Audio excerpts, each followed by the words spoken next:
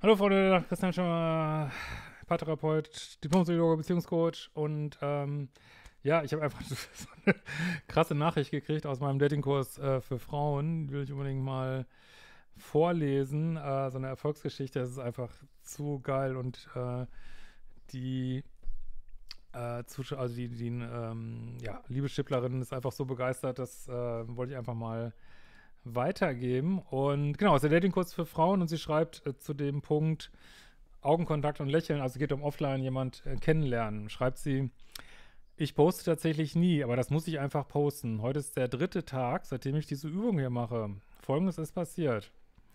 Flirtsituation, Tag 1, erste Versuche. Typ auf dem Fahrrad angelächelt, ein Lächeln zurückbekommen. Beobachtung, viele Männer auch schlecht im Flirten. Und ich bin zurückhaltend, verschlossen an Orten, wo viele Menschen sind. Ich traue mich nicht. Warum? Tag 2.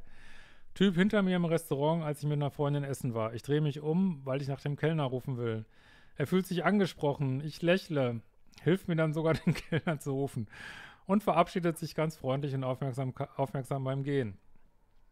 Also es geht mit dieser Übung, das so aufzubauen, dass man mit Männern in Kontakt kommt. So. Also es ist wirklich großartig. Tag 3.